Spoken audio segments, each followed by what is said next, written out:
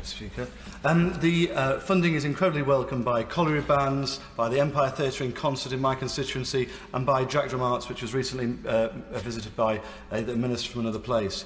Um, but the, uh, a lot of building projects um, for uh, the uh, arts sector have been cancelled or postponed due to this coronavirus outbreak. Could the Minister enlighten us as to what's going to be done to help them?